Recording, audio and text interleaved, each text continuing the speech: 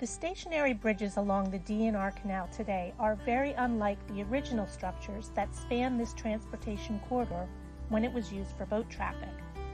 Unlike Pennsylvania's Delaware Division Canal, all the bridges crossing the D&R Canal were initially movable and gave the canal an advantage. There was no height restriction. Low profile mule drawn canal boats, heavily built steam powered vessels, elegant tall masted ships, and personal yachts were all able to navigate the corridor. The first bridges along the D&R were A-framed swing bridges. The support for this simple, well-designed timber bridge was built in the form of the letter A, giving the bridge its name.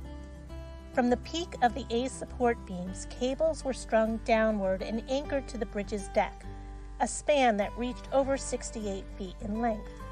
Horse, wagon, carriage, and pedestrian traffic of all kind crossed the canal when in the closed position. A bridge tender employed by the canal company was responsible for a crossing location where he operated the swing bridge. This was done by hand with the aid of a bridge key or a wrench, using a system of gears and cranks similar to the lift locks. The tender also monitored the tension in the supporting suspension cables to keep the bridge in good working order. He did this by regularly climbing the attached ladder to the apex of the A, where he could then inspect and tighten the cables as needed. Each tender was also provided with a house, which was located adjacent to the assigned bridge. This housing was part of the tender's salary. Adjacent to each bridge crossing was a small wood frame structure large enough to accommodate a few items, such as a chair, a table, lamp, and a small stove. This bridge tender station allowed the tenders some comfort as they waited for the sound of a boat horn or the blow of the conch shell that signaled the approach of an oncoming vessel.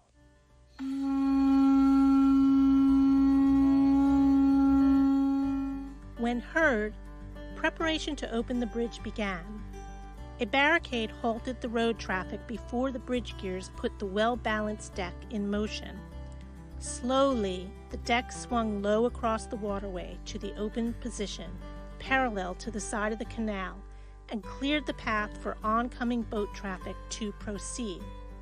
Once through, the deck was then swung back across the canal into the closed position and road traffic could resume.